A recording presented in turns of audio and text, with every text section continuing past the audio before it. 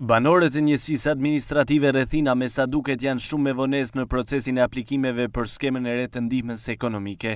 Deri tashmë janë regjistruar vetëm gjysma e familjeve që marrin aktualisht këtë pagesë, ndërsa përgjegjësit e zyrës ftojnë banorët, pasi në të kundërt mund të penalizohen. Ajo që është vënë re është që ka një tendencë personave si duket me lanë për vitin e ardhshëm për me apliku. Ju bëhet thirrje gjithë banorëve të njësisë tonë të paraqiten pranë zyrave tona, ma tepër fokusi është tek personat që marrin aktualisht ndihmë ekonomike, të mos e neglizhojnë paraqitjen pranë zyrave tona, pasi pothuajse do të bëhet një përmbledhje totale në muajin dhjetor dhe çdo gjë do të fillojë me sistemin e ri të ndihmës ekonomike, që më vonë të mos kena persona të përjashtuar aksidentalisht prej skemës, pra t'ju shkojë fjala që ata të vijnë të paraqiten pranë nesh. Të paraqiten me, me kopje të kartave të identitetit, certifikata familjare dhe dokumentet e tjera, ma konkretisht e thanën, duhet një tapi toke të noterizume të pas parasysh që ka vlerë ligjore dokumentacionit të jetë i tillë i noterizum.